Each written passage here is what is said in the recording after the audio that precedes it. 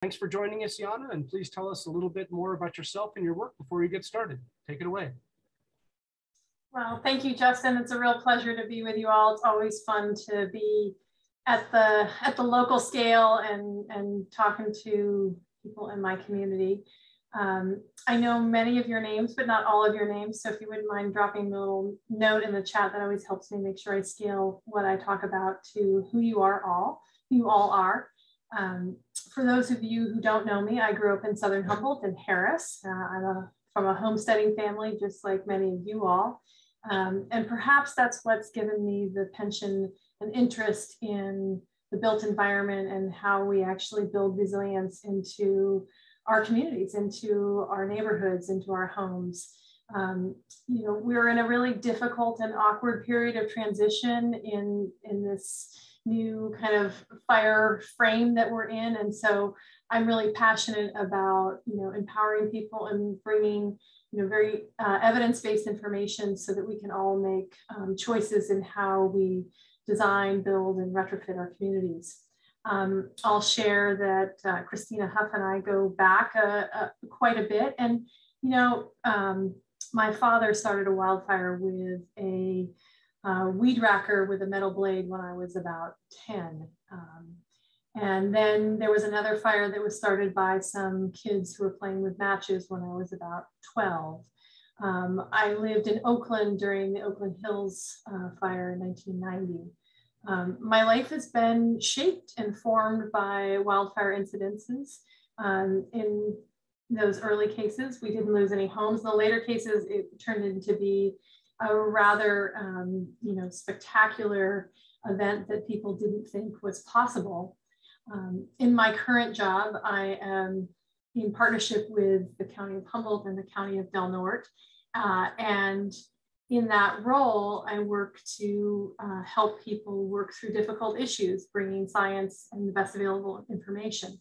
Uh, I'm a trained a registered professional forester, um, but I picked up skills from some of my colleagues over the years uh, in the space of um, looking at buildings and their performance and the interaction between the landscaping, the forest conditions, the wildland conditions, and how those interplay with the structures that we find so important. And so uh, tonight I've got a, a presentation that is going to try and strike some of that. And you know, I'm gonna I'm gonna talk, start at the kind of high level and think about and try and put some provocative thoughts together about sort of our evolution as a society in fire mitigation strategies. And then I'm going to do some more teaching and talk about fire exposures and um, share some recent experiences I've had with um, some incidences that you may have heard about.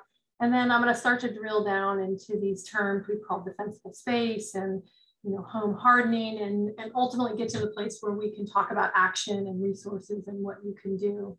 I've got, I don't know, 40 minutes or so of that. Um, I don't want this to be flat and boring. I really like us to all um, you know, be communicative and I wish we were in person. So I'll do my best. I'm now managing three screens, so that should boggle my brain. But um, nonetheless, I just want you to know if I can leave you with any message, and that is that there are proactive and positive things that people can do that will greatly benefit themselves, their families, and their communities. And um, I, I want to express that there's tons of reason for hope um, even in the face of the kinds of events that the media has really um, defined as life altering and game changers and oppressive related to climate change and things that we cannot do, cannot solve easily. And I just really want to say that collectively and together we can do so much.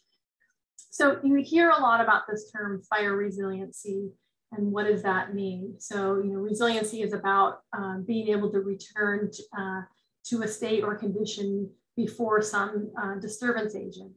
Uh, in this case, we'll use you know, fire as the example, but you know, how do we fix it? What does it mean to fix this fire issue? And, and, I just really also want to say what an honor it is to, to be on the stage with uh, Jeff Kane and with Will Harling, um, some dear colleagues, and I think we all operate in this space and, and have um, great respect and uh, like how we can, you know, find the different parts that we can all work in.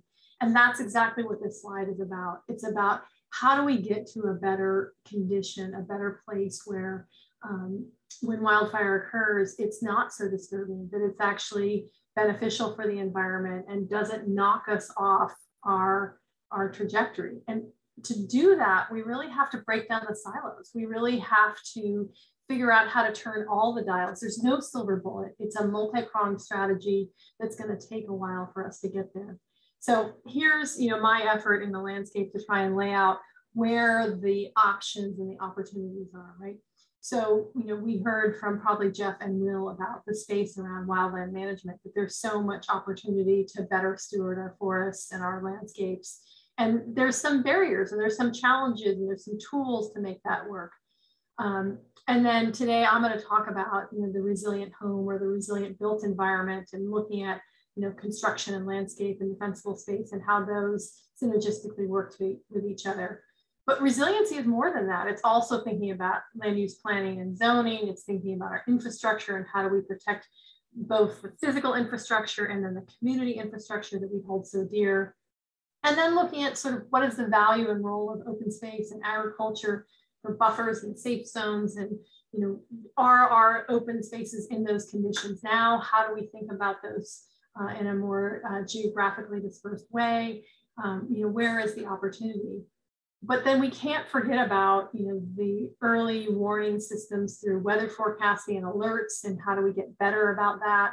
Um, how do we you know make those um, be more effective for us? How do you do that in a really rural environment where you may or may not have cell coverage where you may or may not have power? All those things you know how we work as teams and you know i don't know if any of you all are in the uh, volunteer fire department realm, but you know, thinking about mutual aid and how we strategically work together across our agencies and systems. It's complex, and um, I mean, we've got a lot of good effort that's happened in this space, but there's always more room for opportunity.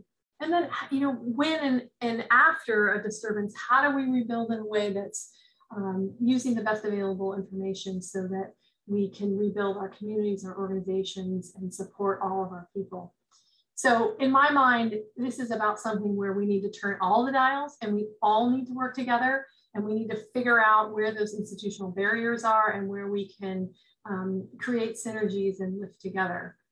So I know that's kind of a, a heavy way to start this talk, um, but I think it really, to me, helps frame um, the issues because uh, the wildfire issue has been really relegated to the forest and it's all been about what the forest can do and, and what the forest needs to, how the forest needs to change. And when you look at sort of the materials that we've been putting out for the last couple of decades, right? Defensible space has been the solution. And you know, the, really the guidance has been about creating a defendable space under the assumption that your friends and neighbors who are either VFD, volunteer fire department members, or work for whatever agency that is responsive to you, in this case would be CAL FIRE, have a safe place to be able to stage so that they can manage an oncoming fire so that it moves out of the crown of the trees into something that is um, spreading at a rate that you can put crews on, that the flame heights are not too much, that there's too much risk and exposure. And that all works when you've got average fire conditions. Um, but if you look at all of our graphics, they've been about the forest. Um, but we know it's more complicated than that. And so the question I put before you is sort of what type of fire should we be preparing for? I'm going to give some terms today that may be new to you, may not be new to you, but there's terms like average fire conditions, extreme fire conditions, there's also different types of fire exposures. There's something called direct flame contact, ember exposure, and radiant heat. And I'll define each of those in a minute. I think many of us uh, were captivated in the same ways when we you know, heard the stories of what was um, unfolding in the Camp Fire in Paradise. Um, and, you know, and here's just an image of sort of the insidious nature of wind distributed are called firebrands or burning um, distributions of uh, vegetation or elements coming from our, our built structures. So, you know, these materials can find the smallest and weakest parts of our buildings. And so how does that fit with our previous messages? well, it kind of doesn't because our previous messages have all been about how to manage the vegetation so that that type of event won't happen because the assumption is that a crew um, of first responder is going to be there. But when you look at, you know, here's the Angora fire and the vegetation wasn't involved at all. And in fact, it looks more like, um, you know, a spaceship came down and zapped this building. Um, but when you detangle it and understand what happened, it's likely that that wind distribution of embers was able to find a weak point in the building and either penetrate it or create a spot fire on or adjacent to it. So how do we prepare for something that in some respects we can't even see? And so that's, you know, where from a, an intellectual space, you know, I think we need to think differently about fire protection and um, being prepared. And so, you know, ember defense has a different look about it, right? Because embers can travel long distance. We know they can travel, um, depending on their size, really as much as a mile or more. Um, and I admitted someone to the waiting room, from the waiting room. Very good. Sorry, just need to pull it together. But when we're thinking about something that has a long distance distribution, that has long capacity travel, it changes how we think about our typical and, and more well understood concept around defensible space. And so today, what I'm going to talk about is thinking a little differently. Um, and this concept applies to whether you're in an urban environment, a suburban environment, a very rural environment, or you know, in Southern Humboldt, which it's got a lot of amazing parts, but is also has its own challenges. So coming back to those terms, direct flame contact, I just want to describe some vocabulary. So the point here is that everyone needs to be prepared for all three types of fire exposures. And our previous strategies around education of fire was really aimed specifically at this direct flame contact piece, where you have fire burning from somewhere farther away from your structure towards your building. And the goal is to modify the vegetation so that you can put crews or that it will go out and not attach, not directly contact with the building. So I think we understand what that's about. This ember piece in the middle panel is a little more complicated, right? Because there's this long distance component of it. And then it suddenly requires us to think about what is combustible near and adjacent to our buildings, on our buildings, and what is permeable on our buildings, such as the vents as shown here, or the weaknesses that gutters present, and such. So thinking about direct flame contact with embers requires different strategies, as does being aware of what we call radiant heat. And radiant heat, I, I best think about it as um, it's a rainy day, you were out in the woods, your shoes are wet, you put them by the wood stove, and if you put them a little too close, you might get ignition. The concept that you don't actually have physical contact, but there's the transmission of heat through the air currents that can get uh, the, the, adjacent material um, sufficiently dried and heated to the point that you can either have failure in that product or um, combustion. So when you have a woodshed, an outbuilding of some kind, um, and that is ignited. And if it's adjacent to a single pane window, for example, uh, or some other uh, finer element, you can create failure, like in this window, or you could actually create ignition. So thinking about what's adjacent to our buildings um, is equally important as the ember and direct flame contact piece. Does that make sense? Um, I'm just gonna assume it does, but this is how this movement towards home hardening and defensible space is switching because we're starting to think about the structure itself, what's around the structure, and how do we mitigate all those pathways for fire exposure. I'm going to talk a little bit about some of the data that drives uh, what I do. I'm going to nerd out a little bit. I am still a scientist. Um, and I've uh, had the pleasure of doing some uh, more involved investigations. So one here represented is from Paradise and the Camp Fire. And what I really want to show is that when you look at uh, the Camp Fire, which was in a oak woodland and um, ponderosa pine forest, you can see there's a lot of green. And where the green isn't is where it's is where the trees are farther away from the structures. Radiant heat was one of the biggest contributors to the damage and loss of buildings in Paradise. And we, uh, myself and my colleagues did some investigation into better understand these issues. And just to say of the damaged homes where we didn't have full loss, 63% was related to radiant heat. So once you get ignition in one building, this adjacency piece becomes a significant issue. And that adjacency can cause damage on the windows as well as the exterior walls, um, just for illustration. If, you, if this was a wildland fire where all the vegetation was engaged, you wouldn't see any of this green necessarily left. So uh, the condition of the vegetation gives you some clues to what was happening. Now, what we learned when we looked in at Paradise, which not all of it looks like this um, Frank Lloyd Wright sort of uh, typical suburban community, but really 73% of homes were less than 18 meters, that's 54 feet of a destroyed structure. The distance to the nearest destroyed structure was the strongest predictor in failure of any of the variables available. So this community effect has a lot of bearing.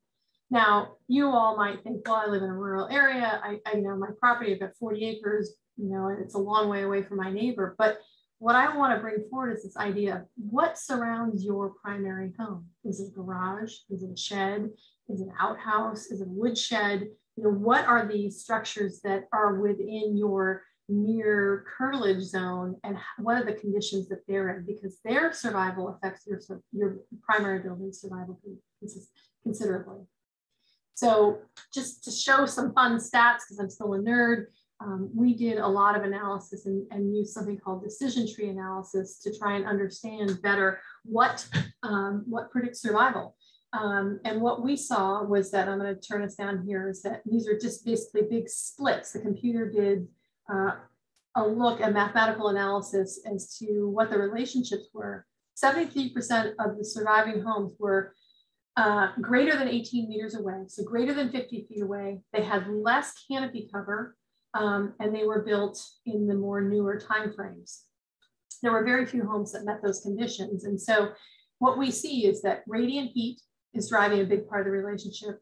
Near building combustibles and the contributions of leaf litter and other um, elements associated with being under a forested canopy had an effect.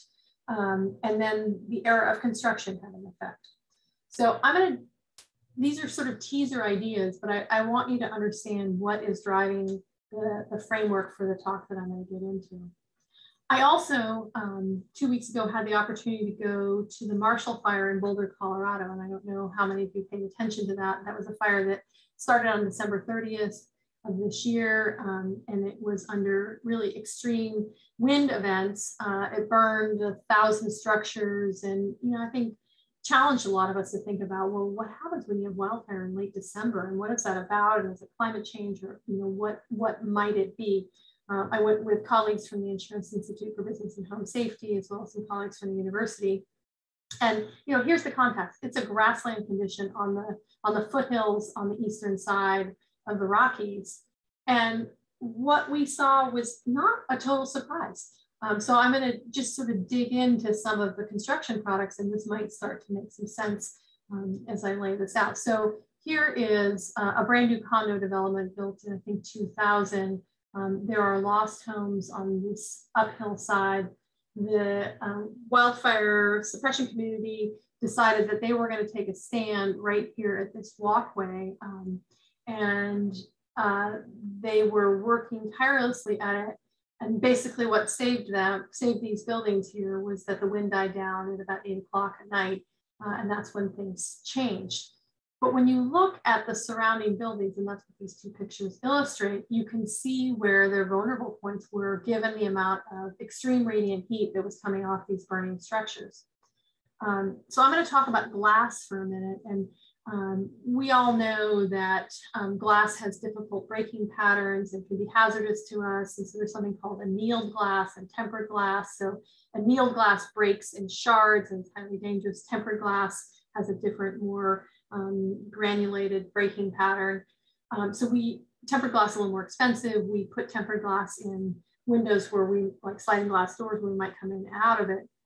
So code in Colorado specified tempered glass in the sliding glass windows. It did not specify it in these kind of light, you know, these light reflecting windows into the upper, into the upper element.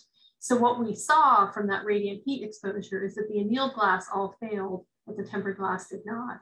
Um, here's another illustration of that annealed glass failing in this situation, and you can see the damage on the, um, the vinyl blinds that sit behind this. So my point is that product matters um, and thinking about radiant heat is important. Um, the heat resistance quality of tempered glass is significantly greater than annealed glass. So it's not just one single product, but it's understanding what your exposures might be. So interesting stuff there. Um, here's another example. This is a neighborhood that was built in the early 90s. They have um, these sort of stucco constructed walls on top of uh, wood, uh, a wood frame. And uh, there's a golf course on the outside here. Just an interesting pathway. So basically the wind was blowing this direction. We had wildfire ignition on the golf course. It was quite dry. We had a backing fire that came up to the base of this, this wall. Um, there's wood members uh, sticking out and there was a, a fence that basically caught the bottom end here there was enough material for the embers and the direct flame contact to ignite caught leaves and such. There was a fence that came all the way across and attached to this house right here, also shown in this direction. What we suspect happened is that that um, vegetation fire ignited the, the caught material at the base, which ignited the fence. The fence carried the fire along with some um, board that was designed to separate the properties as well as some um, vegetation borders. And that brought flame directly to the edge of the stucco constructed building. Um, but we had wood combustible material in the under eave area and the fascia. And then we had fire penetration basically into the attic as a result of that. Looking at it from another direction, coming this direction right here. Now, why we see these retaining walls here is because there ultimately was firefighter suppression that prevented the whole building from igniting and protected this building here. So this is the kind of environment where we're learning about um, what actually happens. Um, I happen to work with colleagues that have a lab um, where they can construct buildings and um, test them in a more controlled environment with wind um, and different fire exposures to be able to confirm these concepts. But this, my point being, is that there are small and detail, uh, small details that are worth paying attention to and thinking about pathways and conductance of a wildland fire to directly to the house. All right, hope everybody's doing well here. Um, I'll close on the idea of the this Marshall fire and say, Here's a garden bed with rock mulch on the outside. Again, stucco wall construction. Um, we're very confident that embers ignited this slightly woody um, plant here. We had ignition and that put pressure immediately on this vent. Um, it did not create ignition on the other side of the vent. We took the vent off, um, but just to show what the connection is even though you think you might have this very durable wall, there is a relationship between what's combustible on the outside of that and what pressure might be put on the wall itself. Here's a decorative ornamental conifer. I have one of these. I need to look up what its name is. It also ignited from embers, not from a fire at the surface. And we had enough ignition to uh, put pressure on this under eave area and the soffit area. Um, so this house likely had multiple points of ignition. So these are the kind of post um, fire studies we use to, to drive what I'm talking about. So switching back to where our defensible space messages have been, um, this picture was used in uh, 2006 as meeting, you know, the best available thought. You know, we had well-mowed grass, uh, we had branches and trees that were limbed, um, you know, it looked like you could easily put an engine there and safely defend it. Um, the challenge when you now put your lens on about, oh, what if you have this long distance ember transport? What does that mean? Well, look at this. We have very dense woody vegetation that basically surrounds this building. Even though you have irrigation, it's unclear what's happening directly near to those windows. So the potential for spot fires being um, ignited adjacent to this building is sort of the new risk and the new thinking. So, you know, even when you look at the CAL FIRE guidance, which is going to be changing, you know, we sort of um, confirmed as a society that it's okay to sort of anchor your home in this type of vegetation. I'm beginning to feel very differently about that. Um, and so what you're going to see coming in uh, policy changes is this idea of three zones um, and really making a lot of attention to what's immediately adjacent to the building. So there's an in, in the defensible space code, you'll see zone one and zone two. Well, now there's going to be a new zone called zone three, which is the first five feet around the building in any attached deck or stairwell. Um, really trying to dial in, well, what happens when you get ignition and material that's right adjacent to that? It's if you don't have someone there to defend it, it's very difficult to retain that building. So really trying to draw public attention to the vulnerability that is around and adjacent to the buildings. Um, not a lot of changes coming in this, you know, the, the, next 30 and 100 feet, but this idea of creating um, discontinuity or islanding your vegetation so that there are not easy pathways for, for a wildland fire to burn directly to the building. And then adding this non-combustible zone, this, this zero to five feet around all of our structures. That's where we're going uh, in terms of thinking about how to protect the buildings from, from embers themselves.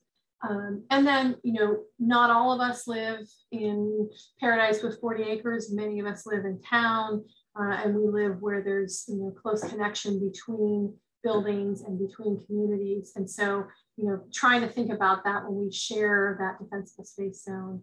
Um, what we saw in Colorado, and I guess I didn't chose to, was that fences were incredibly efficient at bringing wildland fire to the building. So replacing fences uh, with a gate at that point of connection is highly significant and we think will really make a big difference. I'll share some more about that in a bit. Uh, in policy, you won't see a lot of um, guidance changing about fire and steep slopes, but the point being, just if you're not familiar with it, is that uh, fire burns uphill fairly easily. And what you tend to get is a preheating effect as you have wildland fire down below your structure. It begins to dry out the vegetation as the fire moves uphill. It can also dry out the condition of the buildings. And so we want to interrupt that fire pathway if you happen to have a great piece of paradise with a wonderful view, you know, this deck is particularly vulnerable. So um, thinking about the separation and clearance can make a difference there. Um, and we can go into those spacing guidelines if you'd like in more detail in a bit. Um, I'm gonna take a pause here for a second. I know I'm, I'm hitting you with a lot, but paradigm shifting takes work and takes some time to think through this. Um, I think all of us want uh, easy answers and we wanna know that um, that this is the right thing to eat or this is the right thing to plant or this will be healthy for us or this will be safe for us. And so there are efforts to try and label plants um, to say that this is a fire smart landscape or this is a fire wise plant choice.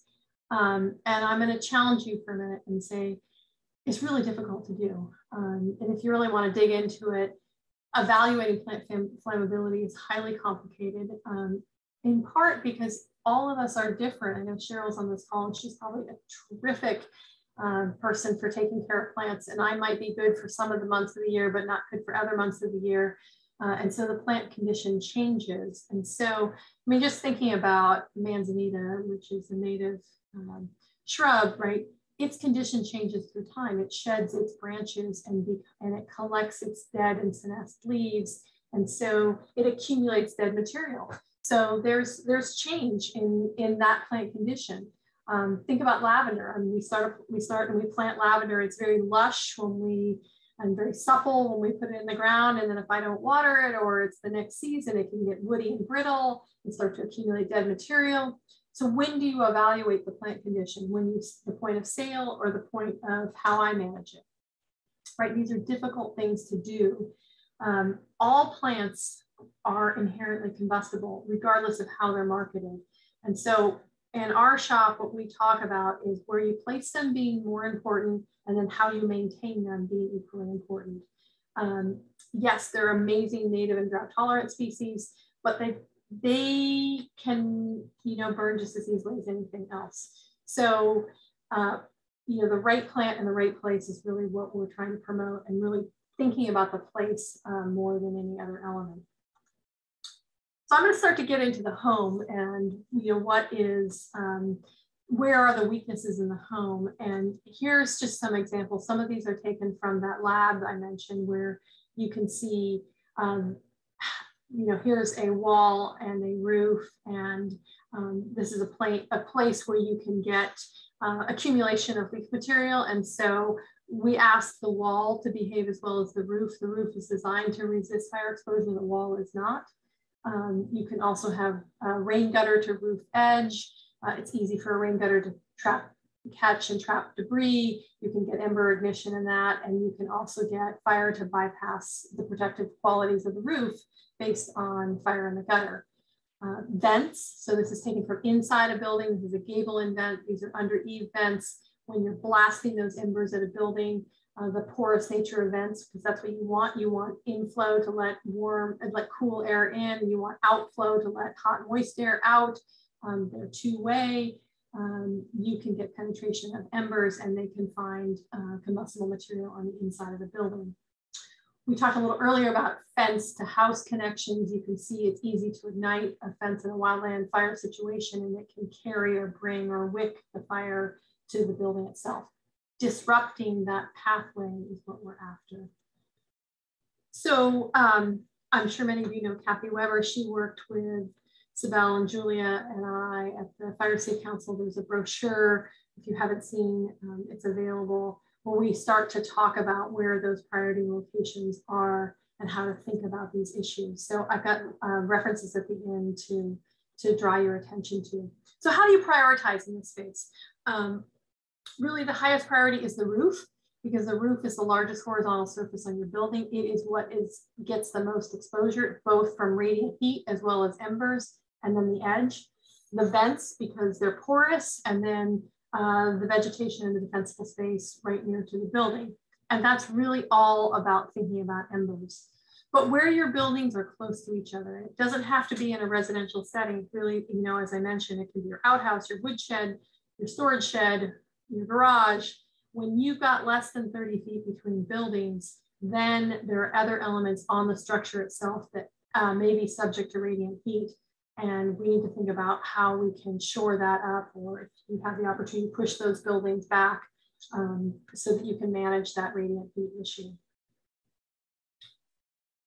Roof number one priority, you know, just some more images about where those weak points are and what those transitions are. There's opportunities to retrofit and put a one hour fire rating on this um, intersection between these two roof planes, as is in this gable vent here. Um, there are gaps, there are holes in roofs. Um, and here in tile roofs, they're particularly prone to them. You know, a regular inspection of all those gaps is important. Uh, we talked about gutters earlier. Um, just to say, uh, gutter guards are important, especially non-combustible ones. Um, I don't have a product that I can really recommend. I've got something that I'm thinking about, but keeping those gutters clean are, is important. Um, I've seen lots of examples about how, how structures have almost been lost. Embers, you know, embers penetrate. And so where are we at now? Well, uh, the most common um, foundation vent, uh, gable end vent has quarter inch mesh screening. We want something finer uh, to prevent uh, the ember penetration. Um, and there actually are a whole new product and class of of vents that are designed specifically to resist both heat as well as uh, embers. And um, they have sort of different systems and different trade-offs, uh, but there's new listings of materials that meet uh, these criteria. I'm not aware of any, any um, building supply company in Humboldt County that provides these, um, but we can talk about where you might look for them and what you what the options might be from through vents to gable vents to foundation vents um, I'm pretty jazzed about this stuff. It's also possible to tack up eighth inch mesh screen on your existing vents and, and give yourself a low cost but additional benefit for what you already have. And that can be added uh, on the outside or the inside, whichever is easier. Eaves, as you can imagine, are places where you get air circulation. You can also get sort of the eddy uh, creation, the circulation of, of uh, of fire and embers. And so these exposed rafters are more vulnerable than a soffitted or boxed in eave um, because you can get that circulation happening. What we really want to see is folks have something that is not combustible underneath those eaves. That's why we talk about five feet. Windows, as I mentioned earlier, um, tempered glass is far superior. Look, you can get um, 330, oops, we can get 335C resistance versus 112C for annealed. Um, in a high fire risk environment, I would go to both panes temple, tempered. Um, you know, it depends on your situation. They are more expensive. I will acknowledge that. Here's Carr Fire Redding, potted plant created crack, it, crack in the first window pane. We didn't have full failure. So, I mean, that's the good news. But just to illustrate that this is probably a annealed glass on the outside, tempered potentially on the inside. Um, this window needs to replace, be replaced, but the house wasn't lost. So that's, that's a good message. Decks, there's a lot to say about decks. There's great deck guidance about decks. I'm, uh, and maybe I'll take those in questions if people have them. There's some new ways to build decks, low cost that make a difference. But uh, if you get ignition in the deck, it's very easy to carry fire to the house. So thinking about how you might um, improve your condition is something worth considering. Um, and there's some retrofit strategies where you maybe replace these lax uh, deck boards and put a non-combustible attachment there, a grate, for example. Um, and then there's some other ways, and there's some links to these guides about what you can do if you're if you're building a new deck. What you store under your deck is just as important. Um, you know, think about how much stuff could get trapped with embers in there, or you could have direct flame contact. Um, I know it's out of sight, out of mind, but it's it's it's a real issue. Uh, fences, you know, they're finer, smaller material. It's more like kindling. It's very easy to ignite a lot of structure from a, uh, a grassland fire. Um, so what we're suggesting is you can still have a fence, but this attachment point really does matter. Now, siding is kind of on the lower list of priority if you can manage that radiant heat exposure. Um, but you know, a lot of folks say, well, I have, I have stucco construction or I have you know, this totally non-combustible box. I don't have anything to worry about. Well, my point here is that um, we don't live in caves for a reason.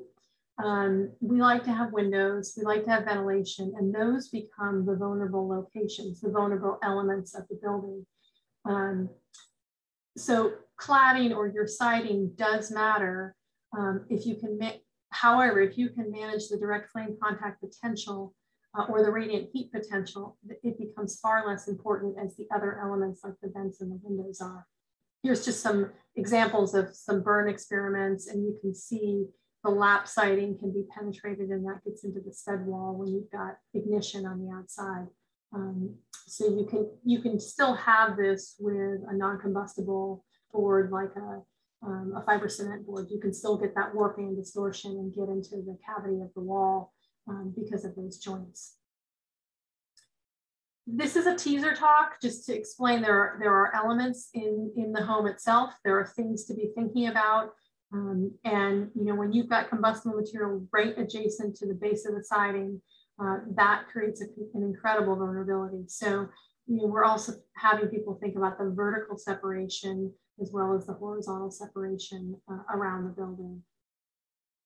Oops, I'm almost done. Um, you know, and then there's some other vulnerable locations, right? What we leave outside, I have a, I have a cabin um, the summer, I take my broom inside, I take my doormat inside, um, I look at places like my underdoor area.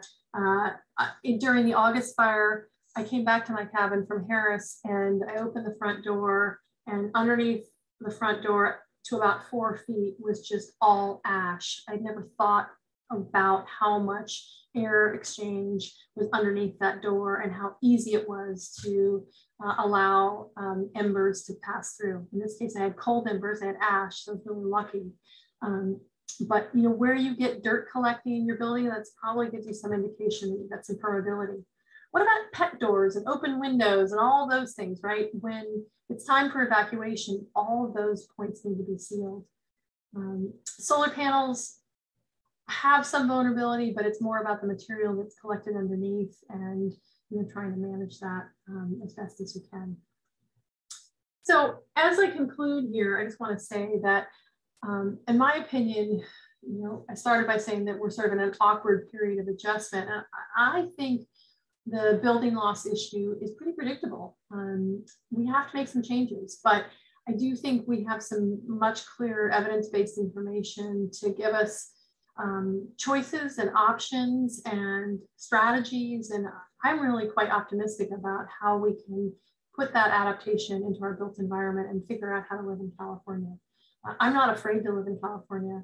I just want to use the best available products with the best insulation and maintain it well so that you know my home is good for my kids and our future generations to the best of our abilities.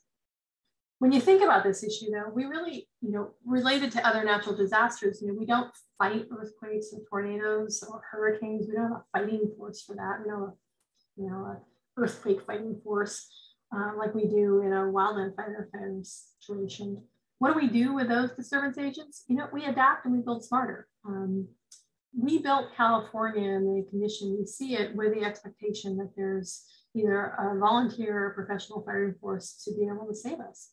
Um, and they work darn hard, um, but sometimes the system gets overloaded. So what can we do to help them? And in conclusion, you know, the majority of homes are ignited from embers, um, and we need to help people understand that we need to create you know, unified messaging and alignment about what real risks are and how we can address them. Um, you're going to see changes in construction codes for new homes. Um, but the challenge is, you know, how do we incentivize upgrades to our existing structures to manage the ember and radiant heat issues? And um, you'll see coming soon, basically mandates around this uh, zone zero or the first five feet around the building.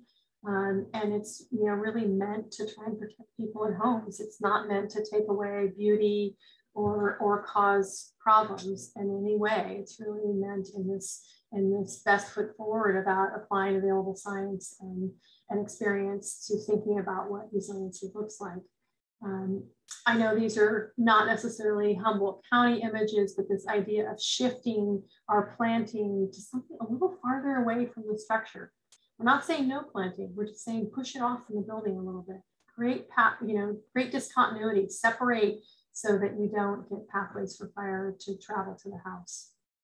And um, I'm gonna, I'm just gonna wrap up uh, with this uh, graphic from our uh, work with Kathy. Um, this would be the 12 step point. I think it was advertised in the expression of, of this program.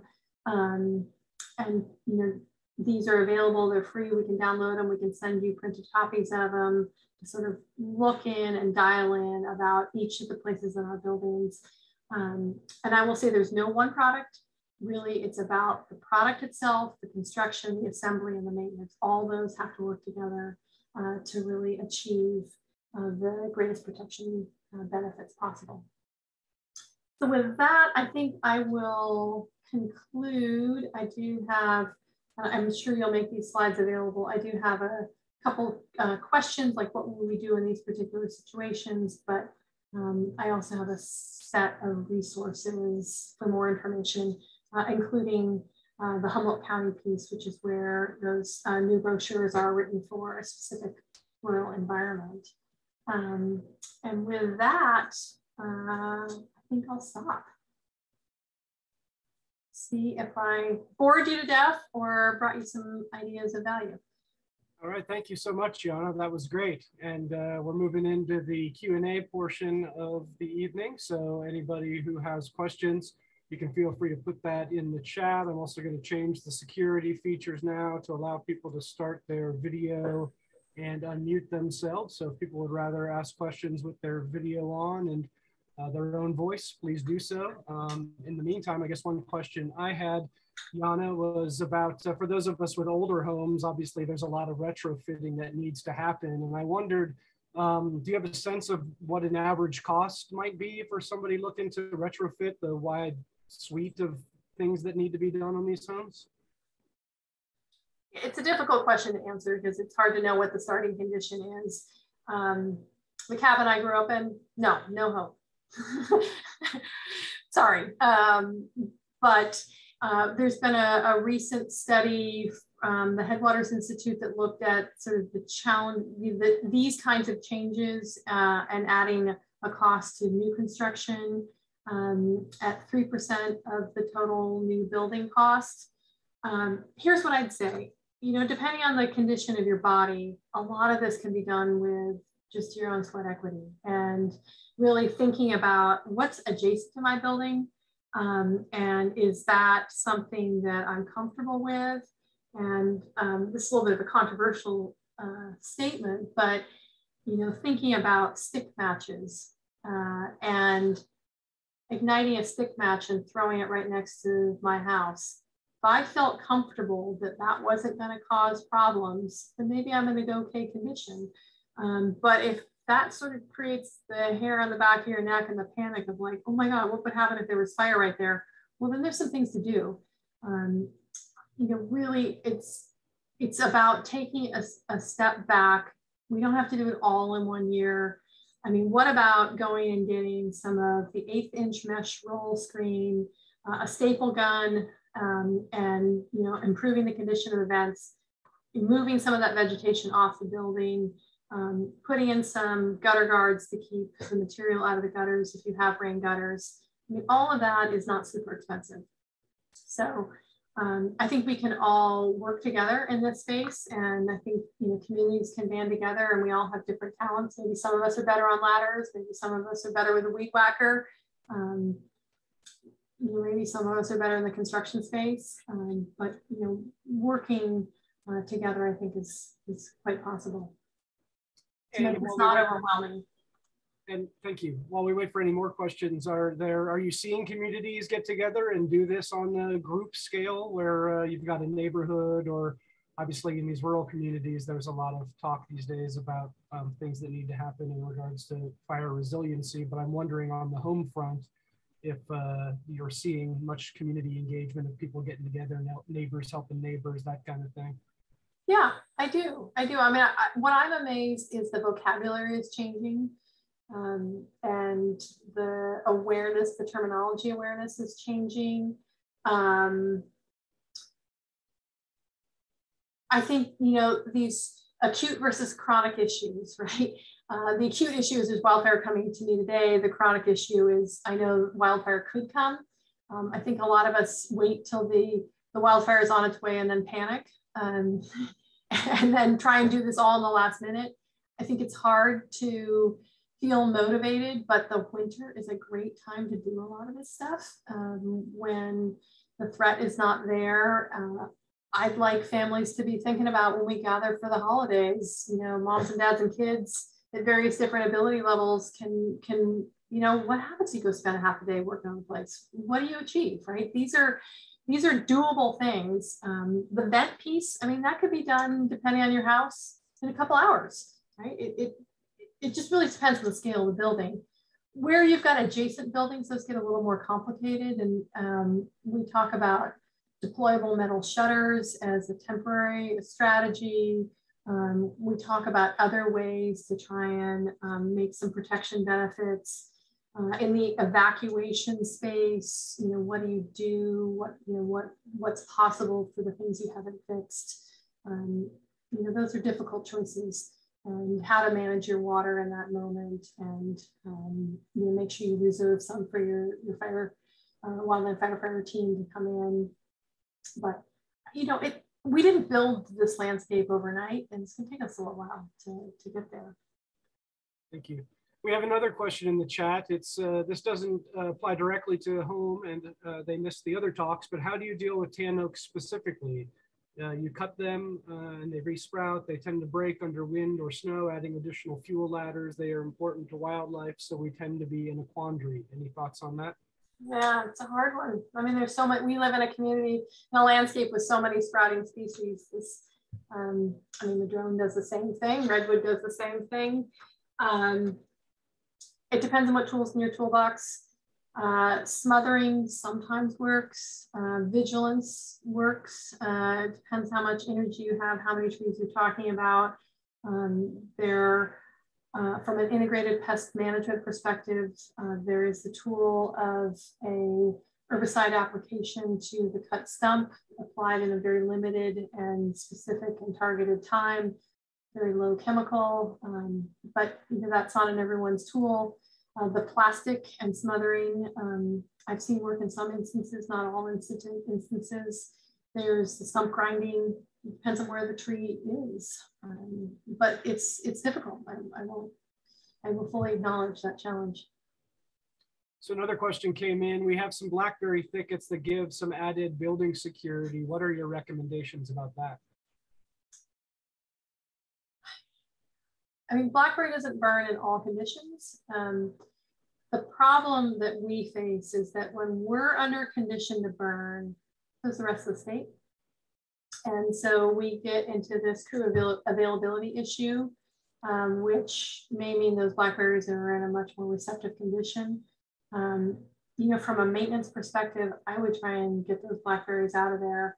Um, goats, uh, digging um, are some of the other strategies. But yeah, I mean, the point is that if it's if you've got some more space around the building, it's easier to maintain the building in and of itself. So there's some added benefit to, to pushing that vegetation back a little bit further so that you can work on all sides of it. Great.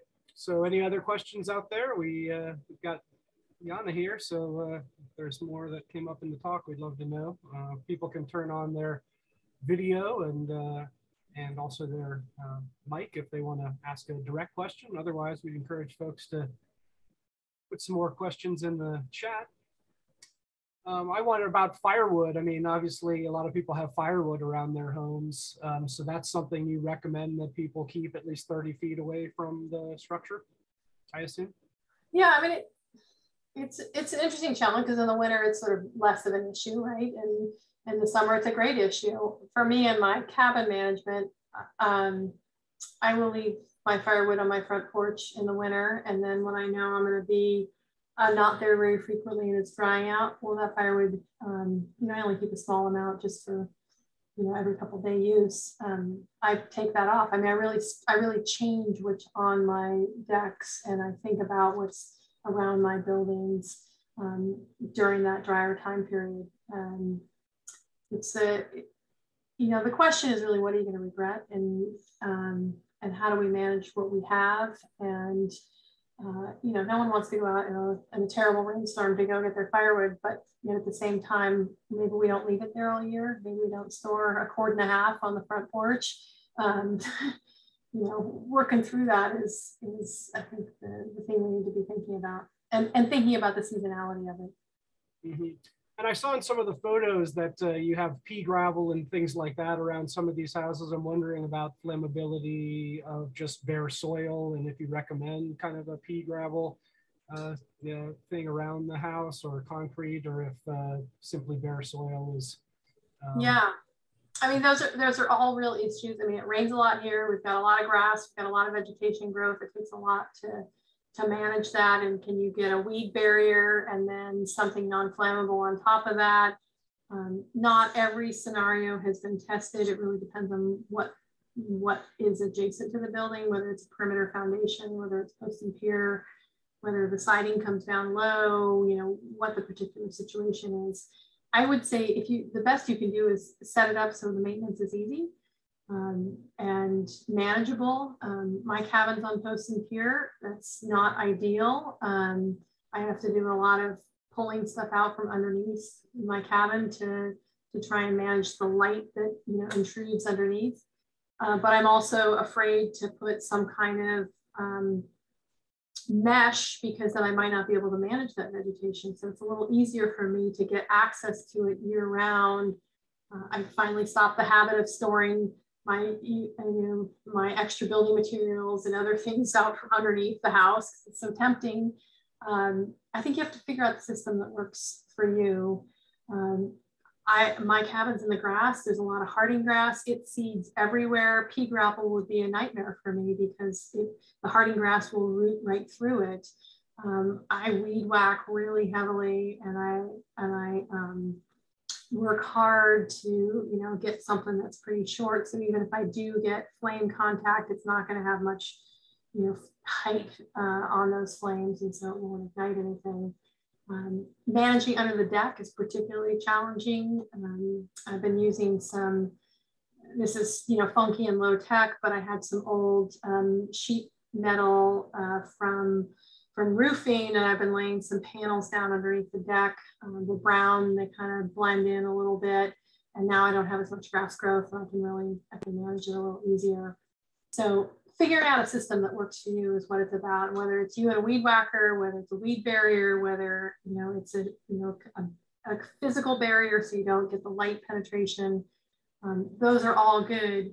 But when you seal things up, like under a deck, um, you still need air movement because uh, otherwise you can get rot in that, in that deck structure. If you seal it up but don't allow air exchange, there's some additional challenges. So we're constantly battling the rain and the moisture and the moisture management as well as the vegetation growth um, they're all real, real challenges.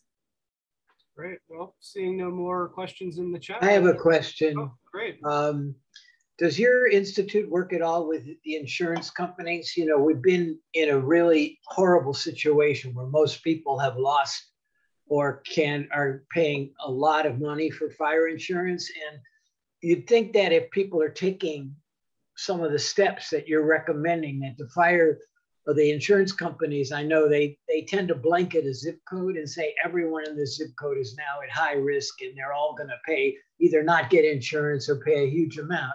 It'd be nice if we could demonstrate to them that we're taking fire precautions and be able to at least ensure or or have some kind of dialogue about that. Yeah, I hear you, Jimmy. And these are complex issues, and um, yeah, I I I have some some interaction with the insurance space and it's probably a, a 40 minute conversation that we need to have about where we're going. I have some optimism that things are changing and the insurance market is really complicated in how it's managed in California, in part through a citizen initiative from the 80s um, that makes it difficult to manage risk in some ways. Um, and yet, you know, trying to deal with it from a, I mean, the point is, I'm just going to say, and I'm not a defender of the insurance companies, but we do need insurance because if we don't have insurance, we can't sell. We can't sell our properties, and suddenly our value, our properties have no value. Um, so, trying to figure out a way to structure the market, incentivize larger companies to stay in California, bring in some new companies, it, it's highly complicated. And I'm optimistic that we're making some headway in that space, and the insurance companies are getting a better handle on evaluating risk and rewarding those people for the kinds of work that we're talking about. Um, the biggest challenge is how do they do that in a way where they don't have to send somebody out to every property? Because the expense of doing that is greater than often the value of the insurance policy itself. Um, maybe that's a little wonky and nerdy to talk about, but it, there's there is a lot of there are a lot of good folks working in this space, and I'm I'm feeling more optimistic about what we're going to get. That was a great question. Anybody else out there have questions they want to chime in in real voice or add to the chat? It looks like uh, we've got some, we're looking at Firewise uh, or Garberville may help with insurance, also Mattole, Shelter Cove, Benbow, etc. Yeah. Garberville, so that's good news. Yeah, and, and Firewise might be the vehicle. It might be somewhere else. I mean, it's, these are dynamic systems. Um, you know, in Santa Rosa, there were a number of Firewise communities that burned um, but that was the, you know, the Tubbs fire we're thinking was 2017. That's five years ago from now. I mean, our evolution in thinking has, has sort of had a quantum leap um, since 2017, especially in this understanding what defensible space means adjacent to buildings. So, um, you know, I think it's all about becoming more uh, aware and fluent in this space with what the risks are and managing those risks better. But I, I totally um, support communities working together. And I'm really inspired by what communities can do. And I mean, you know, Will Harling's message, I think, is really powerful around what communities can do together. And this is kind of the same sort of stuff. Um, it's just applying it at a more fine scale at, you know, the, the immediate curtilage and space we live in. All right. Well, seeing no other questions, unless anybody else wants to chime in, I think we're at the point where uh, we're ready to say goodnight. So um, I am going to thank Yana Valachovic on behalf of Friends of the Lost Coast and the BLM King Range National Conservation Area. Uh, we would like to thank her for this talk. We hope you found her lecture exciting and inspiring, as well as the larger Living with Fire lecture series. Our next virtual lecture series is entitled Marine Life of the Lost Coast, a two-part mini-series that will be on February 22nd from 6 to 7 p.m. with Dr. Paul Bourdeau and his talk on invertebrates of the Lost Coast. And then on uh, the 1st of March, we've got Dr. Dawn Goley presenting marine mammals of the North Coast, what we are learning about elephant seals, gray whales, and stranded marine mammals. And that will be on Tuesday, March 1st from 6 to 7 p.m. So visit lostcoast.org for more information and Zoom links for each lecture. And thanks again for tuning in tonight and to learn more about Friends of the Lost Coast or to make a donation to support our work, including programs like this lecture series, please visit our website. We're also on Instagram, Facebook, and Twitter. Thanks again to Yana Valachovic and uh, the UC Cooperative Extension for sponsoring this talk and also to the Friends of the Lost Coast. So enjoy the rest of your evening and all the best. Thanks again, Yana. Take Thank care, everybody. It's great to see everyone. You want me to shut that? How do I shut that um, recording off? I'll do it. Okay. Thank you. You bet. Thanks a lot. That was fun.